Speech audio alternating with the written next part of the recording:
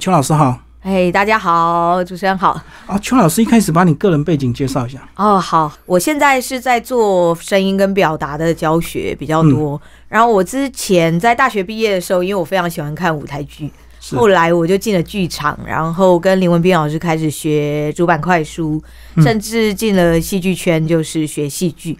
然后三年后，我就觉得哇，剧场表演真的太有趣了，我就直接进了剧场。就是工作这样子，嗯，后来因为车祸的关系，我没有办法做比较劳动性的工作，就进了配音圈，嗯，慢慢认识了我我的老师，然后他带我进入教学这一行，所以我现在才会开始做声音表演。好，你说你一开始接触这些表演艺术，后来挑主板快速为例，一开始入门，为什么挑这个最难的？那相对相声、像话剧来讲，是真的难度最高的，我觉得。对，但是因为我就觉得文斌老师在台上表演超帅，就是我觉得有一个人在台上发光，就是一个人就可以吸引住所有人的目光，就靠一个人自己一个人的表演，所以我就觉得天啊，这个表演真的超棒、超帅的。所以那时候我就厚着脸皮去找林文斌老师，问他说可不可以跟他学。我就这样子跟着他，所以后来我也开始帮文斌老师做教学的工作。是，嗯，所以掌握那个节奏之后，回头再来演相声或演话剧，是不是相对容易多了？对，因为其实包括我现在的教学也是，我那个时候就是教学的时候就发现说，哎，当我用就是所谓的主板快书的技巧，我当初在学的时候，我其实常常问文斌老师，哎，这个为什么要这样？那个为什么会情绪是需要这样展现？然后文斌老师当然会跟我解释，可是他用的会是说，哎，这个地方如果把它提起来的话，情绪会比较饱满。嗯哼。但是我就觉得他应该会有一个所谓的科学原理吧。对，后来后来我自己学了唱歌的发声啊、配音啊这些之后，我再回过头来看主板快书，我才知道说，哦，原来所谓的所谓的文明老师说这样提起来会比较有有情绪的状况，它其实是。比如说中文的声调的关系，嗯嗯，然后或者是这边的情绪，开心的情绪，它本来就是比较张扬的，或者是生气的情绪，它本来就是比较张扬的，所以它才需要提起来。它其实是可以用一种比较科学的分析方式去来剖析这些东西，反而是回过头来看这些表演，反而让我的教学变得比较更精细吧。所以以前都传统师徒制啊，所以说老师说什么，大概你就是只能模仿学习，然后就是照他的这样一个步骤。嗯，但是背后都有一些科学基础，就是声音的一些流畅或换气嘛。是，没错，没错。嗯嗯，所以我现在就变成说是把当初我学到的这些技巧，因为已经都学会了。我当初真的就是有点类似硬背的，就是先把文斌老师教我的东西全部先照着模仿下来，因为我听力很好。然后现在的话，就是把我以前练的背的这些东西，然后去思考为什么它这个地方要这样，然后试着去把它剖析出来。嗯，所以就写成了现在这一本书。听力好是不是记忆力就会好？哎，对，事实上语言能力也会比较好。嗯，的确是这样，没有错。因为听的话就比较能够模仿跟模拟声音的状态。那这样唱歌也比较不会走调，是不是？呃，对对，像我 只要听过一两次的歌，我大概就可以唱，没有什么问题。所以很多人 key 不准，就是听力不好。呃，听力比较弱，事实上这是可以培养的。像我的唱歌老师就说，其实没有所谓的天生会走音的人，只是说你有没有去理解跟熟悉这件事情而已。因为你听不出差异，你自然就唱不出标准嘛。对，没错，没错。而且有，可是有的时候。听不出来是因为没有人告诉你要怎么听，就像我们小时候，对我小时候跑步也是跑很慢，然后我就会问老师说：“那我要怎么跑得比较快？”老师就会说：“你就是没有没有努力的一直往前跑，要用力，什么要要 什么手要摆动，什么脚要大步跨。”就是他们可能有些老师就是只能讲出这样子，是对，可是他没有办法告诉。像后来我的健身教练他就跟我说：“啊，是因为你的脚是整个非常用力的踩在地面上，所以变成。”花费太多力气在跑，就没有办法跑得很快。嗯嗯，对，所以其实能不能掌握到精细的技巧这件事情，我发现说，只要你知道该怎么做，然后你能够让学生了解，尤其是小孩子，因为刚开始我在教主板的时候，其实都是教小孩。我发现说，孩子他并不需要知道理论，他只要知道怎么做就好了。对对对。所以那个时候，我其实都是在孩子们身上实验，我就发现说，只要孩子听得懂、做得到的，拿到大人身上，他们一定做得到。刚有讲到你生命的一个转折，是因为车祸才不能做劳动性的工作，只好做这些比较细腻的工作。先讲一下那个车祸是什么？哦，好，那一次就是被一台车子，我已经让他了，到让到路边了，结果他竟然把我撞飞这样子。哦，对，所以那一次有点严重，还好没有受到太大的，比如说什么骨折啊，或者是什么肋骨断掉之类，还好没有这种非常严重的伤害。可是那时候就是我那一次车祸之后，我第一个发现最严重的地方就是我只要因为我的声音很高，嗯哼，可是我只要想要发高音或是比较大声的时候，我的胸口就会有一种闷住的感觉。哦，心肺受损是不是？对，就是呃以西医来说，因为骨头没有受伤，所以他们就说没事。可是以中医来说，就叫做什么呃呃气血淤塞，是不是嗯类似这样的概念？然后我就想，糟糕，这个这个这样子不行，因为如果没有高音的话，对我来讲就是一个我，因为我非常喜欢我自己的高音，所以所以没有高音这件事对我来说就是一个很痛苦的，因此我就开始很积极的去就医，我一个礼拜去去看三四次的医生，看中医吗？对，看中医，因为西医说，对，西医说没事哈，叫我自己好好休养就好。了，嗯。所以我就看中医。然后那时候中医师就建议我说，因为我剧场毕竟还是要搬东西啊，劳动性比较强，嗯而且几乎作息都没有那么正常，他们就建议我不要不要再做这个工作了，先好好的休息，让身体完全复原。可是至少要两年的时间。是，所以那两年就是靠我妈资助我，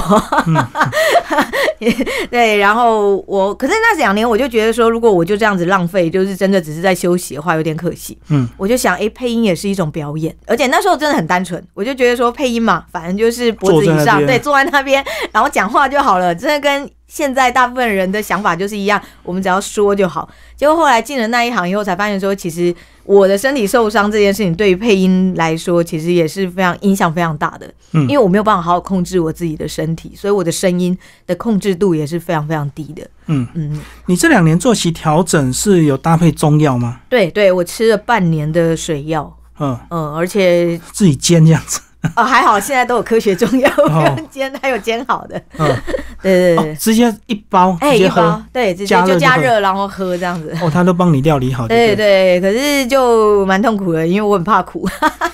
啊，所以不用加搭配冰糖吗？我其实到后面刚开始的时候，我吃完都会吃糖，就是喝完都会吃糖果。到后面我真的可以直接，我甚至有时候还插吸管喝都没有问题。习惯了，对不对？对，真的都是已经习惯了。嗯，对，但是就我觉得还好，我自己有花那两年的时间去调养，现在是真的几乎已经恢复大概至少八成了。所以后来就因因祸得福，可以这样讲嘛？可以就对声音更细腻、更敏感，然后搭配配音也有很多一些技巧要学习嘛。对对，因为因为那个时候，而且最重要是那时候我又进健身房，因为嗯后来两年后医生把我放出来嘛，就说你可以靠运动复健，可是我就很怕自己又练坏了，因为毕竟两年多没运动，肌肉它整个的状况是很差嗯的，所以我就报名了健身房，去找了一个比较懂。就是所谓的复健的教练，一对一啊。哎，对，一对一，哦，对，因为我觉得我很严重，我需要一对一的教练协助我，去让我能够让我的身体能够更更舒服。后来有明显的感觉吗？有有，其实刚开始真的还就没什么太大的感受，可是大概一年多以后，很明显就可以感觉到身体的用力方式跟肌肉力量不一样。然后在这个过程中，因为其实我我六六年前还七年前有一次胃食道逆流，嗯，那个时候那个胃食道逆流其实跟我身体受伤也是有关系的，嗯因为我的身体控制力不好，然后再加上因为工作。慢慢案子又变多了嘛，嗯压力就变大，所以我那时候胃食道逆流，声音又差一点坏掉。我那时候以为我又得换工作了，可是还好我又找了蛮好的耳鼻喉科医师，帮我把声音慢慢慢慢就是维持住，让它不要恶化，最后还帮我治好。嗯对，但就是在这过过程中，七年前到现在。这五年的过程中，因为我有一直不停的做肌力训练，然后加上我之前的所有的声音训练，还有医生他给我的一些建议跟我们之间的讨论，就是这些东西让我开始更关注自己说话的时候到底自己在做什么。然后我把这些回馈到我的学生身上，他们就嗯发现说，哎、真的蛮有效的，而且可以很快速的解决他们的声音问题。我就发现，哎，那这样子的话，似乎这条路是正确的，所以我就开始更往这一块走。我的发声课程是大概十年前跟唱歌老师学了以后，我觉得这一块是有市场有发展的，嗯，也很适合我，所以我就开始做。一直到我胃食道逆流那段时间，它才算有一个大要进吧。嗯，因为我对我自己的身体更理解了，所以我也开始能够看得出来别人的身体，就是别人在说话的时候，他的身体是怎么运作的。那你可以去协助办案，就听那个声音，然后说谎还是说真话这样。FBI 是不是有这种课？哎，对对对，没错没错。其实也是，因为其实声音它本身也是可以传达很多的情绪。之前最印象最深刻就是有一个学生，他说他爸爸声音不太好，因为他爸爸住在彰化，嗯，所以他问我可不可以跟他爸爸通电话。是，后来通电话以后，我就我就发现说他爸爸的声音就是讲他的声音是正确的，可是很奇怪，就是到尾音每一句的尾音的时候，就会莫名的衰弱跟沙哑。嗯，我就我后来就跟那位同学说，我觉得你爸爸的应该不是声带的问题。但是有可能是，我觉得应该是什么地方有状况，可是那应该是生理性的。嗯，我所以，我建议他到大医院去照喉镜。后来他带他爸爸去照喉镜以后，发现是就是脖子声带附近长了息肉，所以等于压迫到声带嘛，是让他在讲话的时候声带没有办法自然的动。切除以后声带就恢复正常，所以他就说哇很感谢。但但其实那个时候我其实也没有把握说是不是真的这样。就是在医学医疗这一块，当然我是没有办法的，因为我自己不本身不是医疗体系。可是因为我的听力很好，再加上我敏感度高，这几年又这样子，呃，很专注的在注意我自己的声音跟学生的声音，所以我可以听得出来别人声音所谓的好跟有一点不好，或者是他的不好有可能会是什么造成的。嗯，对对对，这样更高阶，有没有人可以用声音占卜啊？是不是有些人听声音就知道？嗯，对你怎么样？你怎么样？你最近要注意怎么样？这个 这个部分，其实我们真的有用声音来测个性，或者说，哎，就是说你可能会发生什么状况。但这这个其实是真的蛮可行的。但我个人比较比较喜欢科学性的东西。它可能是个数据啦，对，没错没错，就是一个概况而已。对对。所以有时候我们也会，像我也有一门课，就是帮学生分析各种声音的状态，然后说，哎，如果你遇到这样的人。他可能会是怎么样？我们常常会用运用在业务或者是客服上面。对啊，我看到有一种职业是宠物沟通师啊。哎，对对对，看你的宠物照片，他就知道他现在什么心情。对对对，其实他也算是通灵的一种。我比较不擅长做宠物沟通，就是跟动物、植物，我比较不擅长。我比较擅长是跟人，对，而且我很擅长所谓的情绪情绪共感吧。嗯，对，就是我能够很快的去抓到对方的情绪状态，所以。我再加上现在我对声音的理解，所以我可以很快速的去判断他现在对于他自己的声音，他有什么样子的状态。尤其因为心理会影响生理，对，比如说他比较害羞内向，他的声音自然就会这样子比较内收。嗯，对对对，这个我就可以帮助他去强化他的心理状态。所以我其实也有上一些心理学的课，我现在学了催眠，是，也，就是为了说利用心理学的课程去帮助学生。因为毕竟有时候声音的调整，它其实也是心理上的调整。嗯，对对对。其实坊间还是蛮多声音教练，对不对？嗯，对大家的方向不太一样，有些是声音魅力，有些是什么声音沟通。对对对对对。我自己的话，因为我我就是觉得发声这件事情很重要，所以我完全就是走声音这一块，也就是所谓的声音调整这个部分。再加上因为我自己的敏感度跟听力的确也是比较好，所以我后来就是一直发展这一块，想。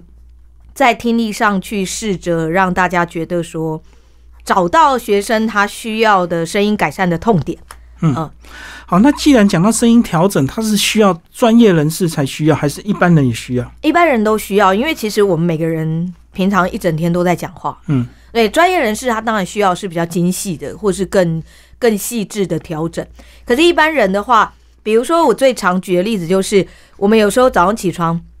如果我们整个人就是这样子，整个人就是非常的没有用力，或者是没有精神的话，这个声音听起来就是闷的，就是不好听的。可是如果你有意识的把你的声音提起来，或者是有意识的去让你的声音到达比较舒服的状态，甚至你的眼神、眼睛是有提起来的话，你的整个的状态就会让人家感觉是有精神。所以其实可以搭配肢体动作。对对，不是纯粹靠嘴巴，对不对？呃，因为如果没有肢体动作的话，身体比较容易会僵硬。就是当你的僵硬，尤其现在我们我们现代人就是所谓的三 C 产品用很多，是。呃，那当你三 C 产品用很多，我们就很容易驼背啊，肩膀内收，甚至于抬脖子。在肩膀这样子的状态下，如果你用身体很僵硬的话，你就比较容易耸肩，或者是就是脖子会拉扯的更严重，影响到声带。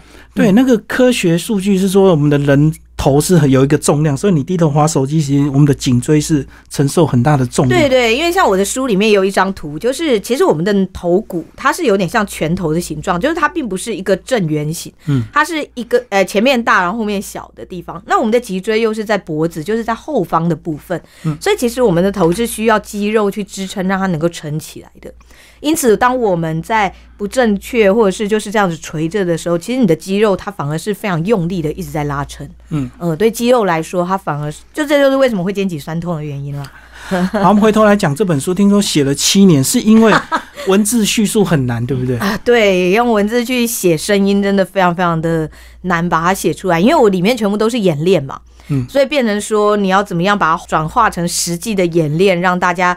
能够去理解他到底是在说什么，尤其比如说像呃上课来讲最抽象的东西叫做声音的对象感，嗯，或者是所谓声音的集中度这个东西，你怎么让学生用讲的很容易？比如说我这样子比较发散的这样说话，跟我这样集中的讲话，我只要一示范，学生就知道了。对对，可是写的话，你怎么让人家用文字也可以看得出来这个东西到底是什么？然后他有办法去做到，嗯，所以就这一块卡了三年。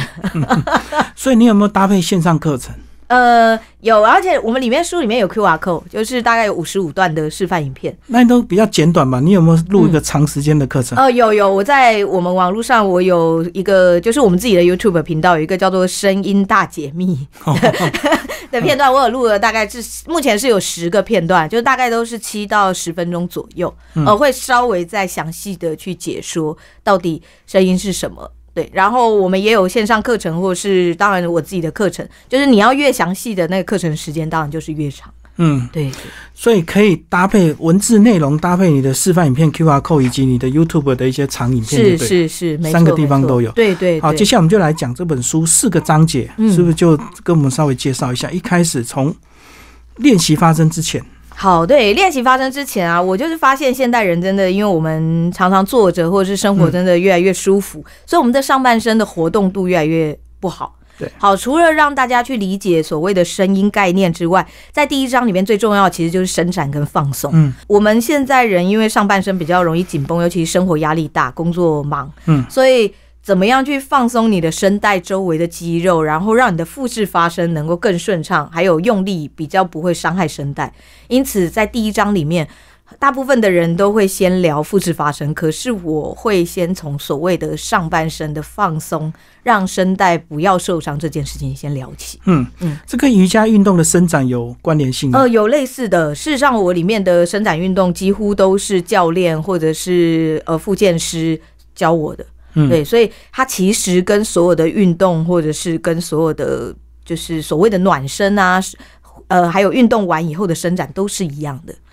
哦，所以身体的放松是对发声是有帮助的。应该是说，如果以健身教练的角度来说，他就是我们剧烈运动的时候，我们肌肉会收缩嘛？对，肌肉收缩了以后，如果你没有让它恢复原本的弹性，它就会一直是非常非常紧绷的。那我们的声带也是也是肌肉，它又是很薄的肌肉。当你周围的肌肉，比如说你的肩膀、你的脖子的肌肉都很紧绷的时候，就会影响到你声带的弹性，它就会非常紧绷。那它因为它是震动，震动，然后又是薄薄的肌肉，当你很紧绷的时候，你这样震动就比较容易碰撞受伤。嗯，对，所以呃，怎么样去让声带放松？我觉得反而会是现代人在学说话跟学发声的时候，非常反而是比较重要的一点。这也是我为什么把它放在第一章的原因。所以整个放松并不一定是指头部这个肩喉咙这边就对，是整体的放松。对，因为现代人除了肩膀比较紧绷以外，还有一个地方很容易紧绷，就是腰。嗯，呃，对，我们的腰也是非常容易紧绷。当你腰一紧绷的时候，你的所谓的核心肌群。就是没有办法用力，就会变成只是单纯用肚子去推你的力量，你就没有办法让你的腹肌跟臀肌两个一起联动，所以说话就会越来越用力，越来越大声，你就会觉得讲话好吃力，然后会觉得怎么为什么我说话人家看起来很轻松，然后我讲话讲完累的要死，声带还不舒服。对，所以为什么我们第一章的篇幅大概占了三分之一吧？对，好多示范动作。对，就是因为我发现，其实，在现代人来说，伸展放松这件事，其实反而比用力还要更重要。我们都太过于专注怎么样让你说话去用力，可是却忘记了，其实你要能够舒服的，就像我们演奏乐器，嗯。比如不管是弦乐器或管乐器，当你刚开始不会的时候，你就是很用力在吹，或者很用力在拉，用力吹还没声音。对，而且或者是那声音就很难听，就是很燥。所以怎么样去让那个声音是舒服的，然后去控制那个力量？其实第一章的放松，我觉得它会是现在最重要的一个关键，这也是我放比较多篇幅的原因。好，那放松完之后，接下来就是正确的发声。正确的发声，讲话不是只有靠嘴巴，其实还跟我们的腹部是有关系的。对对，因为我们的身体其实有点像针筒，嗯，就是针筒。我们小时候有时候会玩那个自然科实验，不是会里面装水，然后把针筒这样一推，就会有水喷出来吗？是我们的呼吸其实就是类似这样的概念。我们的核心肌群把我们的气推出来，然后吸进去，也就是为什么横膈膜它会。往上往下扩张的原因，所以如果把我们自己的身体想象成一个针筒的话，所谓的核心肌群就是我们底下去推那个推筒的那个力量。如果这样想，就会比较简单，就会知道说，哦，所以其实我们说话的时候，并不是只有声带震动，而是必须要运用核心肌群去帮助让你的呼吸顺畅，让你的声音跟着呼吸。因为毕竟所谓的说话就是空气经过声带震动嘛，嗯，所以它其实就是说话。只要声音能够搭配着呼吸顺顺的走，那么你在说话的时候自然就会很舒服。嗯，对，所以第二章就是大家都会说第二章很像体育课。对啊，好多练习。对，而且几乎都是我真的就是找健身教练来示范，因为很怕很怕会错误或者是让大家受伤，误人子弟。对对对，所以我在那一章就比较谨慎，因为毕竟那一章它真的是牵涉到另外一个专业了。嗯，可是呃，我会觉得。当你的下半身所谓的核心肌群，其实我们不用练到像呃运动员或者是专业的歌手那么的强劲，你只要稍微有一点力量，你能够去控制，就可以去让你说话比较舒服。嗯，好，第三个章节讲到这个声音清楚饱满，这个清楚可能是需要一点正音，那饱满的话不是先天的吗？呃，对，饱满是先天的，就像我们比如说。喇叭或是吉他好了，嗯，它本身它的共鸣腔就在那里，那是先天的。可是如果你的弹奏技巧不好，你就没有办法弹出饱满的声音，吹出饱满的声音。所以包括我们说话也是，就像我刚刚讲的，我们不是上半身容易前倾，脖子容易抬吗？对。像我现在这样在讲话的时候，你看我声音就变薄了。对对，就是因为我们的声音是呼吸。来到了头腔以后，它经过跟骨头的共振，嗯，那我们头腔刚好是一个大的空腔，所以它就有点类似在一个房间的正中央讲话，它声音就会饱满。可是如果你呃让你的身体偏差，也就是你站在比较靠近墙边的话，你的声音听起来就会感觉好像有点被卡住或闷住的那种感觉。嗯，所以事实上我的课程或者是这本书就是在告诉大家，怎么样去让你的声音回到最饱满的那个点。让你的共振是漂亮的，嗯。嗯，因此很多学生来上课第一堂，当他们比如说他们把脸部肌肉抬起来，或是把他们的下巴放松以后，让他的嘴巴里面的共鸣回到口腔的正中央，嗯，就像是有点像是在山洞中间，就是有回音的那种感觉，他们就会发现，哎，自己的声音变厚了，自己的声音变饱满了，自己的声音变好听了，嗯。嗯，所以其实所谓的。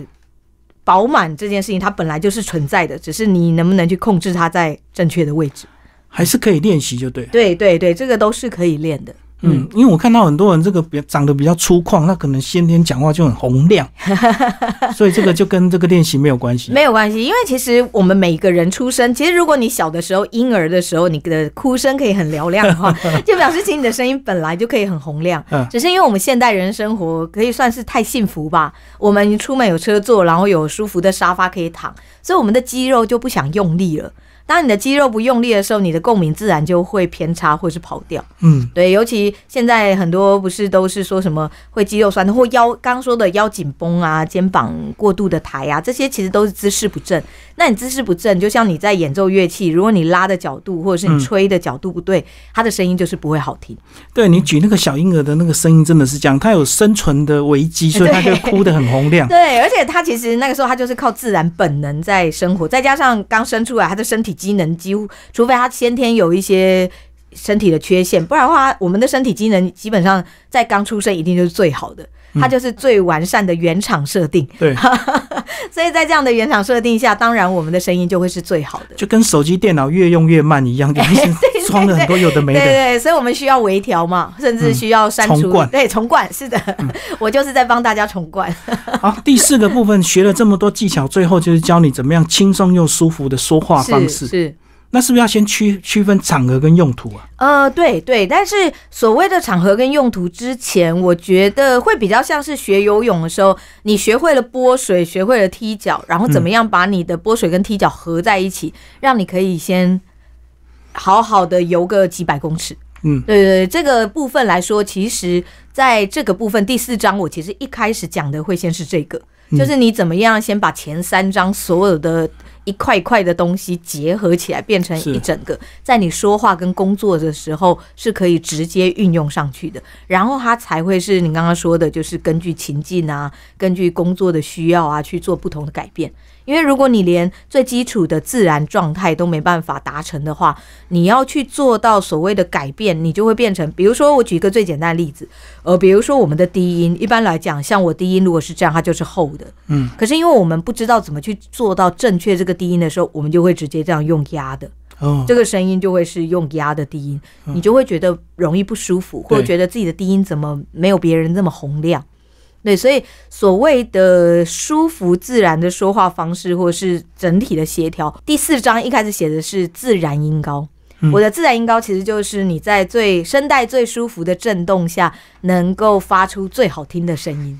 哦，所以就是先把这些技巧整合完之后，自己再去做调整，就对。对，所以他是在呃，我是在第四章的最后面才写到关于比较是情境或者是所谓的变声这一块，就是高音低音怎么去掌握。嗯，主要是因为我们其实我还有第二本书啦，在情绪那一块是写在表达那一那一本书里面，所以在发生这一本，我我会比较希望大家能够专注在自己声音的正确度这件事上，因为进入进入技巧以后，大家就会很专注去学技巧，对，然后就会忘记了所谓的观察自身，尤其我们现在呃外界的东西真的太多了，所以我们很容易都把自己的专注度关投注在外外界。我我其实这本发声书，我最大的希望就是希望大家可以开始去关注自己的身体，然后关注自己的声音状态，做内观吧。对，是好。最后讲到一些声音常常问的一些问题哦，嗯嗯，很多人来学声音，跟所谓的正音是不一样，对不对？对对对，其实它跟正音有关，可是正音的话，它会比较着重在就是你在咬字、舌头啊、口腔的训练上。嗯，但是呃，对我来说，所谓正音，这其实也是从那个主板快书那一块我直接发想出来的。嗯，我就发现说，只要你的脸部肌肉的正确度对了，你的里面的空腔是大的，所以所谓的，因为我们以前在相声里面有一个东西叫做呃寒灯大鼓，曲艺里面有一个叫做寒灯大鼓这个艺术，现在其实已经几乎失传了，就是它要含着一个。呃，棍子上面有蜡烛，然后就是你在唱一段古曲的时候，你不能让那个蜡烛的火熄灭。哦，对，就是这个，就是你必须要让你的嘴巴是几乎不动，然后是它其实跟腹语术，西方的腹语术是类似的。西方腹语术也是嘴巴不动，然后能够发出各种的声音嘛。嗯，那我就发现说，哦，原来其实当我们的嘴巴整个打开，也就是你的脸部肌肉正确以后，你里面的空腔，就是你的口腔里面就会像山洞一样打得很。开的很大，然后整个是空旷的，你的舌头就有位置动了，所以自然而然你的发音就可以很正确、很标准，而且你的口水也会自然的回流到你的喉咙里。嗯，对，所以事实上，呃，所谓的咬字发音，它其实也是建立在发声的基础上的。嗯，这也是为什么我会在第三章的时候也是会介绍所谓的咬字发音正音的这一块，就是因为其实它跟所谓的说话的肌肉甚至发声，它也是息息相关的。嗯嗯，好，最后这本书啊，全彩印刷，哎，对，是因为很多示范动作吗？是，嗯，对，就是不惜成本。对啊，这个用文字叙述已经很难了，还要搭配这个清楚的照片说明。是没错，然后再加上我们又怕说只有照片，有些东西更不，呃，还不是那么清楚，所以我们还拍了影片。对，就是它里面就是有照片有影片。全彩印刷完整的工具书，让大家可以清楚的去了解怎么样去练声音，怎么去学声音。所以这是你第一本书，也是你的代表作，是可以这么说。然后后续第二本就比较丰富一点。呃，对，第二本它比较算是在走情绪跟表达技巧，呃，就是完全是在讲说话技巧，怎么跟别人沟通互动。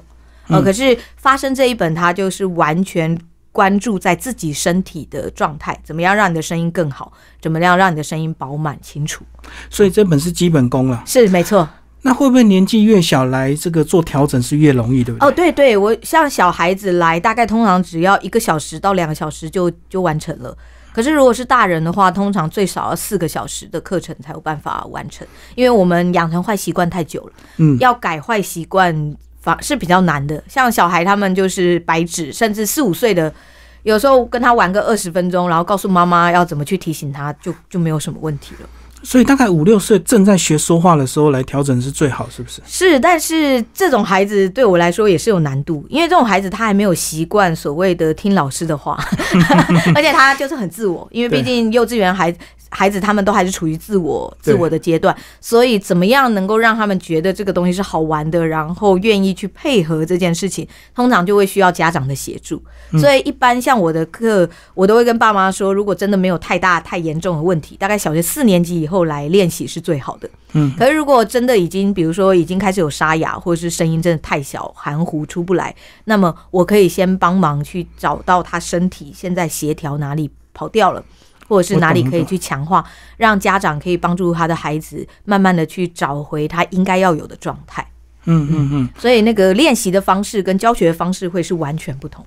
就不同的年纪就有不同的状况，甚至同年纪不同的人也会有不同是的，状况。是的，是的。我对我来说，每一个人的声音都是独一无二的，所以我的学生都说我很像人生的调音师。